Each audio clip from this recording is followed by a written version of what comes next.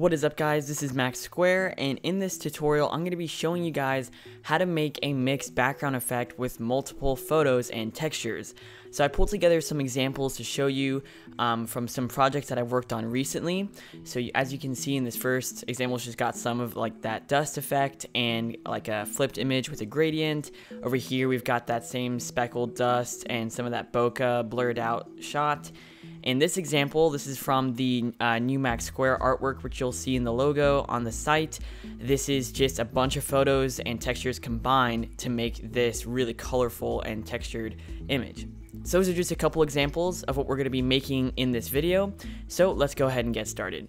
So I'm going to be pulling various photos and textures from a few sites which I'll have linked down below, so be sure to check those out. So the first is Unsplash where we'll get our photos from, and then the second is Graphic Burger which we will take our textures from.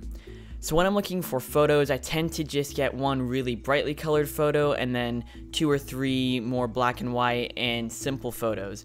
So for the first one, I'm just going to type in something like color, see what comes up. And I think I'll use uh, this cloud effect here with the pink clouds. And then I'll type in mountain. And this is up to you what kind of object you want to use. I'm just using um, a mountain in this example. And I think something like this will work great. And then lastly, we want to get something, uh, something like with bokeh or some sort of blurred out shot. Uh, this will work great.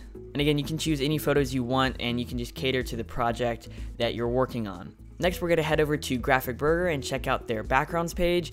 As you can see, they have a ton of awesome textures and effects here, uh, like the watercolor and wood stuff. But really what we're looking for is something a little more subtle and minimalist um, and more like a weathered look. So I'm to take these uh, stone wall textures and download that below. And then we're to head over into Photoshop. Now I would definitely recommend having a folder where you keep all of the photos and uh, other resources that you're using for the project. That way you can just drag it all in at once and keep it all together. So I'm just to select our photos, drag them in here. And you're want to scale up the photos so that they fit to your canvas. I'm just working on a 2560 by 1440 frame right now. So once you've done that, we can go ahead and choose a texture. So I'm just going to look at these real quick. And I think I'll probably use the second one here.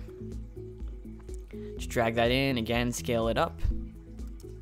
And then once you have all of your layers in, you're want to focus on the main part of your image. And in this case, it's to be our mountain backdrop. Now we're just to be using that for more of the structure and then the other photos to kind of colorize and add some texture to it. Now I'm just to add a black and white adjustment layer and anything you have beneath this will automatically turn to black and white. So I'm to leave it at the top here so we can switch on our clouds layer. Now, of course, we're taking out the pinks from here, but you can see that in that photo, those colors are very dense and bright. So we're going to be using that to power our colors that we use later on. Now you can experiment with different blend modes here, but I tend to use either a multiply or overlay effect, but I'm going to use a multiply just for this example. Next, we're going to add in our bokeh. Now this is something that is going to be the most subtle out of all of the layers most likely, because this is just something to fill in and add a little bit of spice, if you will, around the edges, because um, it's more abstract and not something you want to focus on too much.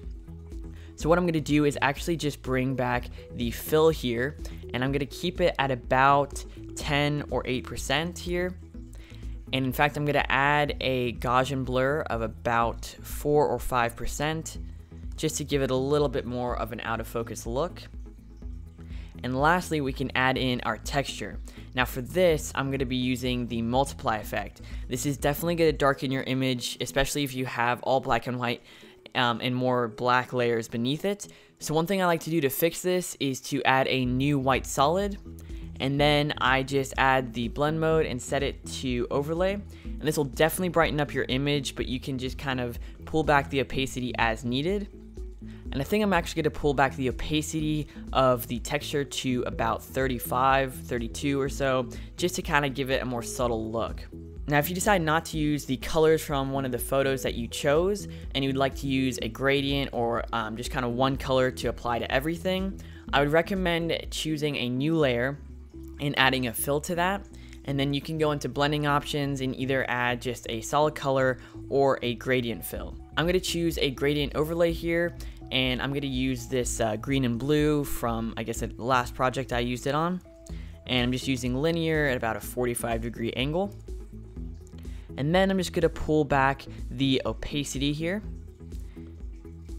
and I'm probably to keep it at about 55%.